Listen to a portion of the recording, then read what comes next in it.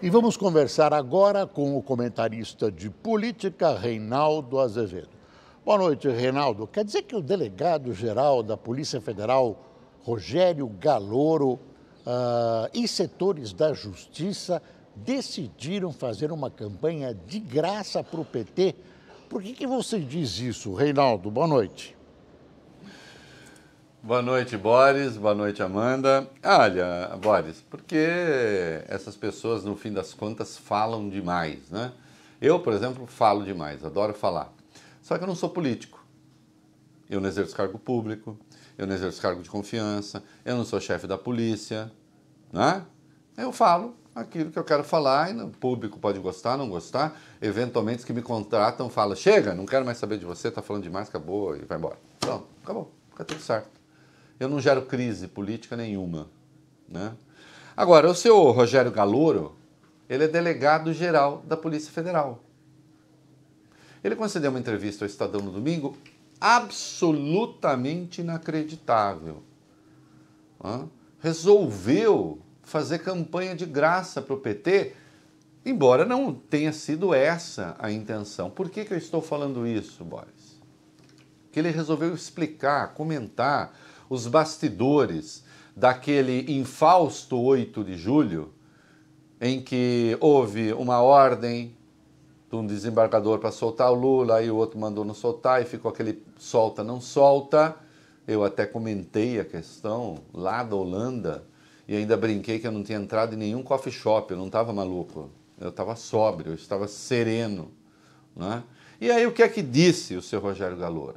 Que quando o juiz Rogério Favreto, bantonista, mandou soltar o Lula, e houve um despacho impresso, legal, com o brasão da República e o símbolo da Polícia Federal, da Justiça Federal, quando mandou soltar o Lula, ele não soltou por quê?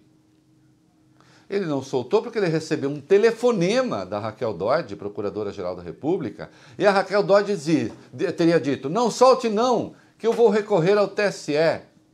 Depois ele recebeu um telefonema do Thomson Flores, presidente do TRF4, e disse: não solte não, porque não é para soltar. E nós sabemos que o Gebran Neto, relator do caso, também telefonou e se manifestou. Nós sabemos que o Sérgio Moro também telefonou. Então nós temos o seguinte: nós temos uma ordem expressa da Justiça Federal que foi confessadamente desrespeitada pelo, pelo delegado-geral da Polícia Federal, com base no que, no que eu chamaria de embargos auriculares. Telefonemas, conversas ao pé do ouvido, justiça informal.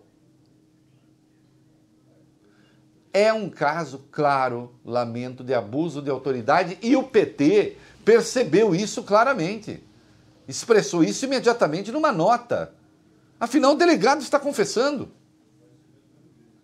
E quando eu disse lá da Holanda que a decisão do Rogério Favreto não tinha nada de legal, eu posso não gostar dela, isso é outra coisa.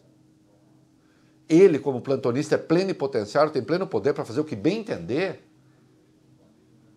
As pessoas estranham, oh, interpretações exóticas foram feitas, inclusive pela ministra Laurita Vaz, presidente do Superior Tribunal de Justiça, do STJ. Agora a Veja publica uma nota sobre o Gebran Neto, relator do caso, que chamou o caso para si e mandou não soltar o Lula, manter o Lula preso. O Gebran Neto comentando com interlocutores seus que se viu obrigado a atropelar a letra fria da lei para evitar o pior, e o pior, segundo ele, era soltar Lula e eventualmente prendê-lo de novo. O Gebraneto até agora não retirou uh, essas palavras e não vai retirar, porque eu fui atrás dessa história e é verdade. Então, meus queridos, quando eu disse que o juiz Rogério Favreto tinha plenos poderes para fazer o que fez, ah, mas ele estava em coluna com o PT. Isso você pode ver depois. A decisão da justiça se cumpre. Não cabe ao delegado-geral da Polícia Federal deixar de cumprir uma ordem judicial que, enquanto não foi caçada pelo STJ, valia com base em telefonemas, inclusive da Procuradora-Geral da República. Como é que é? A Procuradora-Geral da República agora telefona para impedir a Polícia Federal de executar uma decisão judicial. O nome disso é esculhambação. Toda a campanha do Lula, toda a campanha do PT está centrada na tal da injustiça que teria sido cometida com o Lula. Todo mundo sabe o que eu acho, eu já disse que foi condenado sem provas. Não vou entrar nesse mérito agora. É? Temos aí um absurdo em curso, que é um Lula candidato que não será candidato, um vice que se apresenta como vice-candidato, que na verdade será o candidato titular, o que está tornando confusa a chamada área da democracia, que pode criar problemas eleitorais graves envolvendo inclusive questionamentos sobre a legitimidade da eleição.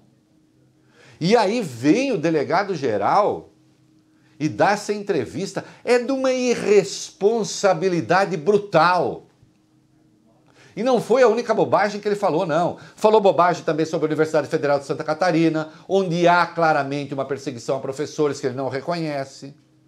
Contou os bastidores da prisão do Lula no dia 7 de abril bastidores, Boris, de questões de segurança. Alguém já viu o FBI contar como organiza as suas operações? E ele contou que o Sérgio Moro tinha mandado invadir, que quase acontece uma tragédia. Assim, como quem diz, para citar um escritor, como quem diz, hoje é sexta-feira. Eu falo o que eu bem entendo. Não dá. Este país, com esta desordem, com essas pessoas falando, com os representantes da lei e da segurança, completamente fora da caixinha, para usar a expressão do Ciro Gomes, o país se torna ingovernável. Por qualquer um. E a situação que vem por aí não é uma situação fácil. Quando é que essas pessoas vão cumprir o seu papel institucional? E vão no fim das contas, calar em vez de falar. Porque isto é fazer política. O seu Rogério Galouro deveria ser demitido. Não sendo demitido, deveria demitir-se do cargo. Mas nada disso vai acontecer porque desrespeitar a lei no Brasil virou a normalidade, virou a forma de fazer política. Né? Para essa gente, eu jamais vou tirar o meu chapéu. É isso aí. Reinaldo, obrigado, boa noite, até amanhã.